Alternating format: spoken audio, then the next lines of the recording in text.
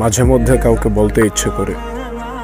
ভাই, দিনটা অনেক খারাপ সিচুয়েশনের মধ্যে যাচ্ছে। তারপরে চিন্তা করি।